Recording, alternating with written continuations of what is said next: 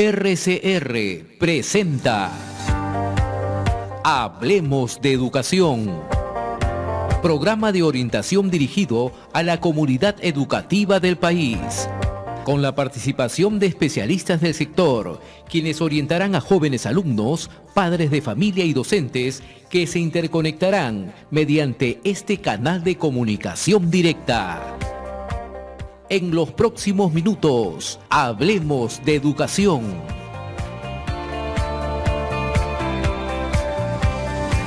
Bienvenidos queridos amigos a Hablemos de Educación y tenemos hoy día una entrevista de lujo, de lujo porque bueno, viene desde la madre patria, ¿no? Viene desde España.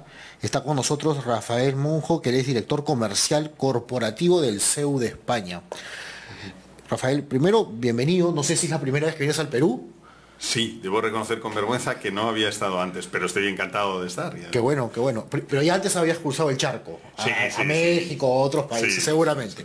Bueno, qué bueno que el Perú te haya recibido, ¿no? Y el Perú es una tierra, ya la habrás visto, está haciendo un poquito de calor ahorita en- a comparación de lo que pasa en, en España, pero qué bueno que te haya acogido muy bien y vienes representando al CEU. De hecho, primero quisiera que nos expliques qué es el CEU. Yo lo conozco, pero los que nos escuchan no saben y quisiéramos que, nos, que entiendan qué es el CEU, qué pertenece el CEU y por qué hablamos de una institución como el CEU, una institución universitaria, institutos y tienen colegios también. sé. Sí. Eso sí lo sé yo. Hasta ahí. ¿Qué es el CEU? Cuéntanos. por favor. El CEU es un, podríamos decir que es un grupo educativo. Eh, El CEU surge como iniciativa de un grupo de estudiantes muy brillantes en, eh, a, final, a principios del siglo pasado, del siglo XX, que toma conciencia de que solo a través de la educación se puede transformar realmente la sociedad, se puede acceder a tener voz en una sociedad que cada vez tiende a estar más estatalizada, donde suele ocurrir que los mensajes se capitalizan muchas veces por parte de, de los políticos, eh, que no siempre se ve acompañado de excelencia a nivel político. Y entonces, bueno, ante la importancia de tomar participación en el debate de la sociedad civil, este grupo de, de- de, mm, jóvenes, entonces mayoritariamente un grupo de jóvenes católicos, lo cual es también muy normal en principios Sí. del siglo XX en España, eh, toma la iniciativa de poner en marcha una serie de centros de formación eh, que formen a jóvenes con altas capacidades de liderazgo. Si entendemos que el liderazgo es algo que se nutre de la capacidad, del criterio y del carácter, al final ser capaces de abarcar las etapas formativas donde esto se forma. Y entonces empieza siendo una asociación que, eh, que funda obras educativas en distintos lugares de España y, y- y que lo hace con colegios, lo hace con centros de estudios universitarios, que es de ahí de donde toma el nombre CEU, Centro de. Estudios Universitarios, que fundan la primera escuela de periodismo de Europa, que donde primero se forman periodistas en Europa de una manera arreglada es en esta en, En el este- CEU. en el CEU Ok. y que poco a poco se va expandiendo. A día de hoy estamos hablando de una de una institución que además ya agrupada bajo el paraguas de una fundación, de la Fundación Universitaria San Pablo. Eh, CEU lo que hace es aglutinar a, a- a instituciones que abarcan la educación desde un año de edad hasta tenemos alumnos de 99 años, porque tenemos colegios donde se empieza con la educación infantil, tenemos centros de formación profesional donde se forma gente en un ámbito, vamos Sí, a decir, sí, preuniversitario, pero un- desde un punto de vista más técnico. Tenemos universidades en, en, eh, tres universidades en seis ciudades de España y, y tenemos, como os digo, los colegios, escuela de negocios y luego tenemos una iniciativa muy bonita que es la, la Universidad Senioribus, donde se forman universitarios eh, mayores de 50 años, con lo cual Wow. cubrimos todo el espectro. A día de hoy somos la institución educativa privada más antigua y más grande de España. Eh, y bueno, entonces en ese sentido digamos que es un representante autorizado de la formación eh, en- de todos los niveles en España. ¿no? De hecho, de hecho, aquí hablamos, cuando hablamos de España, bueno, hay muchas universidades españolas que han llegado en su momento. Ustedes es algo distinto, por lo que entiendo, ¿no? Porque vi- vienen, vienen, pero también ofertan mucho el hecho de ir a España, ¿no? Porque estudien las personas allá. Esto es interesante, entonces ya conocemos un poquito más del CEU. Sí. Ustedes han llegado, ¿Ya hace cuánto tiempo están en Perú haciendo operaciones? En, Perú? haciendo operaciones llevamos aproximadamente unos cinco años. Eh, es verdad que desde hace dos años tenemos eh, eh, una, presencia. aquí, tanto un establecimiento como una persona que, aglutina digamos, las funciones de representación del CEU. Y es verdad seguramente por ese inicio en el que el, CEU nace como una institución para tomar voz en el, diálogo, digamos, la sociedad civil española está más centrado en la formación en España, pero poco a poco, bueno, pues una cuestión también de, pertenencia a un, entorno multinacional en España, por supuesto, Latinoamérica, eh, pues cada vez se va abriendo más. Es verdad que los procesos de internacionalización en la formación universitaria son innegociables. Uno ya, ser universitario es ser internacional per se. Esto, que empieza siendo así en el siglo en el siglo XI en Europa, pues es una realidad hoy en día. Todos los universitarios deberían hacer una experiencia eh, internacional. Entonces nosotros lo que procuramos es precisamente que esa internacionalización consista en dos cosas. En hacer presente nuestra propuesta fuera de nuestras fronteras y en hacernos presentes también eh, eh, fuera de nuestras fronteras que se haga presente en España. Por eso es un proceso, digamos, de ida y vuelta. No descartamos hoy por hoy ampliar nuestra propuesta abriendo centros eh, más allá de nuestras fronteras, pero hoy por hoy lo que intentamos es generar un intercambio rico y de verdad que trascienda lo universitario a lo cultural y social en países donde nos parece que, hay una herencia compartida. y están en bastantes países de América Latina, ¿no? Sí, sí, hoy por hoy digamos que tenemos una presencia más estable en Centroamérica como zona, vamos a decir, y una presencia, digamos, más acerada o más concreta, pues especialmente en Perú, desde luego, en Colombia, en Ecuador, en El Salvador, también tenemos una presencia más continua en Venezuela, pero luego por otro lado pues también hacemos presencia de un modo u otro pues, pues en países como México. Perfecto, perfecto, perfecto.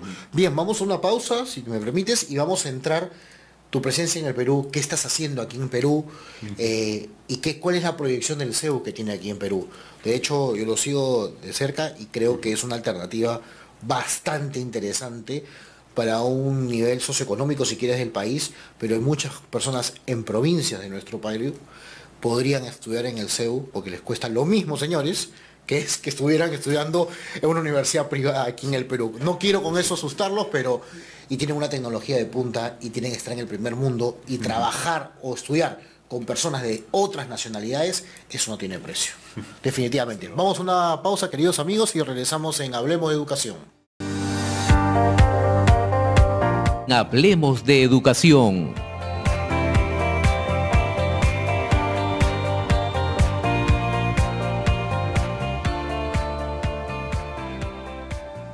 Bien, queridos amigos, regresamos en Hablemos de Educación y estamos con Rafael que ha venido desde España a comentarnos un poquito del CEU.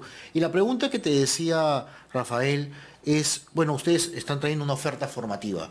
Algunas personas de frente estarán diciendo, sí, pero es de España, es validado por SUNEDU o no. Coméntanos, por favor. Sí, ciertamente nosotros tenemos una, oferta en pregrado y en maestría que es una, es una, son titulaciones oficiales y, son homologables por su medio.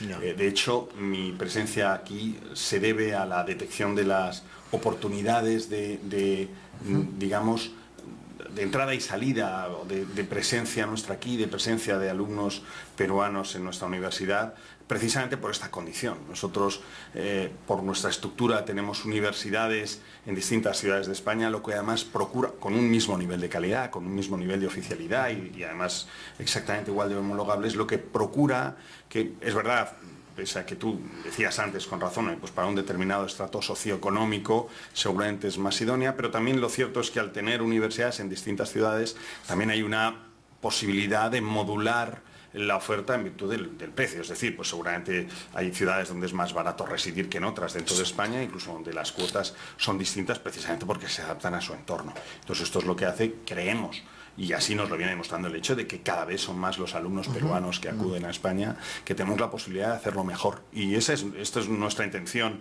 en estos días, primero poner en valor el trabajo que viene realizándose y luego después de hablar con muchos estudiantes peruanos que están ahí, que lo que les hemos preguntado es, oye, ¿cómo podemos hacer esto mejor? Bueno, pues su primer consejo es, oye, lo primero que tienes que hacer, Rafa, si lo que quieres ayudarnos es conocer aquello de primera mano.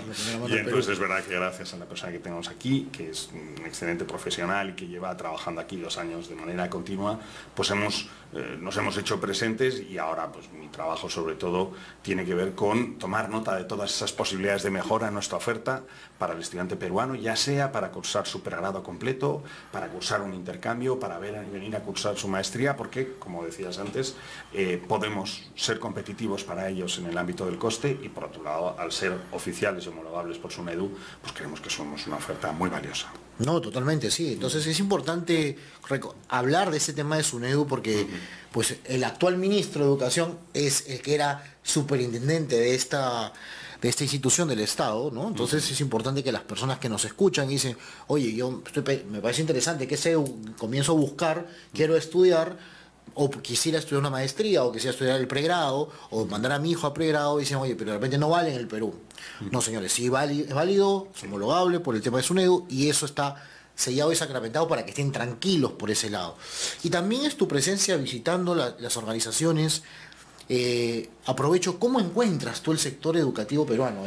rapidito, o sea, porque, porque recién tu inversión ha sido, creo que ayer has llegado, me parece, y ya estás a punto de irte a otro país. Pues la verdad es que me parece que, que Perú tiene un momento apasionante en el ámbito educativo. Es verdad que para los que estamos en el ámbito muchas veces de la gestión universitaria, todos estos procesos de acreditación, licencia, bueno, pueden ser complicados, pero por otro lado también son un momento de, revisar uno mismo qué es lo que puede hacer mejor por otros. Perú tiene una oferta universitaria vastísima, es verdad que hay muchas universidades, tanto públicas como privadas, son universidades que están mm, en lo que yo he sido capaz de conocer, bien a través de asociación de universidades o, bien a través de la visita a, determinadas universidades, porque el día de hoy ha sido maratoniano, me parece que el panorama educativo en, Perú es apasionante, sobre todo porque además Perú tiene una posibilidad de ofrecer eh, cosas que, por su situación, por su macroeconomía, por su distribución poblacional, pero también económica, eh, en, ciertos ámbitos de conocimiento pocos países pueden ofertar. Y entonces creo que tiene que resultar cada vez más un foco de atracción e intercambio de estudiantes de todo el mundo y que Perú necesita exportar e importar estudiantes del mismo modo.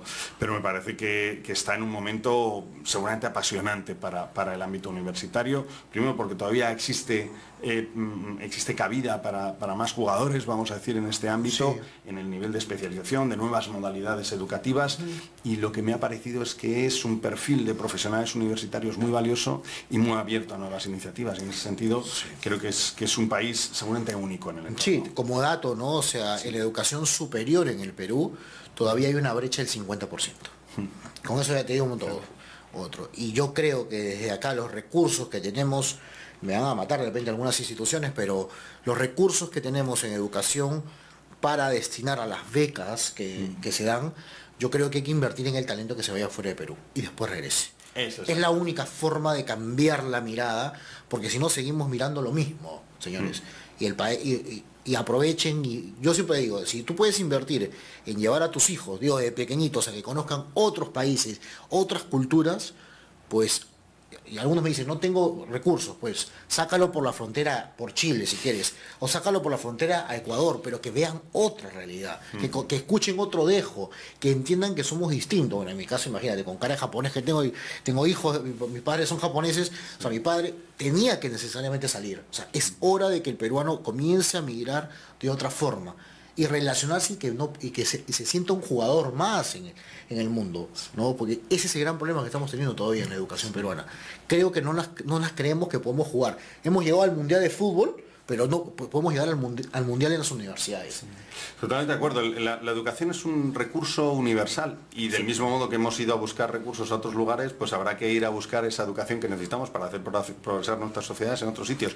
Y el intercambio de conocimiento hoy en día, que se sustancia en cada persona, en cada estudiante, requiere, como dices, ese abrir las ventanas, ese cerrarnos a la ceguera paradigmática de pensar que solo desde casa podemos resolver las cuestiones de casa y salir fuera a buscar soluciones. Como dices tú, gestionar talento, desarrollar talento y luego volver a repatriar ese talento para que dé aquí un nuevo resultado. No, seguramente que sí. Ojalá que esto, esta iniciativa que ya el CEU tiene tiempo en Perú, se haga más realidad y cada día tengamos más peruanos estudiando en España y regresando, regresando y intercambiando culturas. Y además nosotros la cercanía con la cultura española en realidad es o sea, vas al centro de Lima y sientes que estás, en, España. Exactamente. o sea, hay mucha relación en ese sentido. Yo creo que tenemos mucho por, por hacer. La verdad que gracias por darte el tiempo en tu agenda. Sé que tu agenda es recontra apretada. Este, se han encargado, el representante acá, Gonzalo, se ha encargado de que sea así. Pero qué bueno, qué bueno que, que estés aprovechando al máximo y conozcas la realidad del Perú. Y bienvenido. Cuando vengas, el programa, hablemos de educación, RCR a, disponibilidad total del CEU y cuando gustes estamos para ayudarlos. Con tal que contribuyan a la educación peruana en el país, nosotros felices que esto sí se haga. Muchas gracias, Rafael. Muchas gracias. Gracias por estar aquí y queridos amigos, con esto damos final a Hablemos de Educación. Hemos presentado Hablemos de Educación con el licenciado Gustavo Nakamura. Hablemos de educación.